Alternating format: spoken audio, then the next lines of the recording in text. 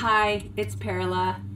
I'm doing a concert on Saturday night at the James Armstrong Theater in Torrance, and I'm really hoping that you all can come.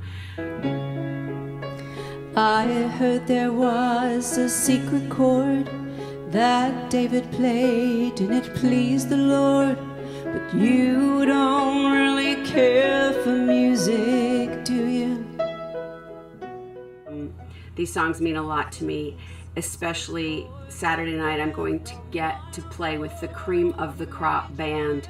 Um, on guitar, Dimitri Mahlis, uh, pianist extraordinaire Michael Sobey, drummer John Ferraro, who I adore, um, Bobby Furgo on violin, who is phenomenal. And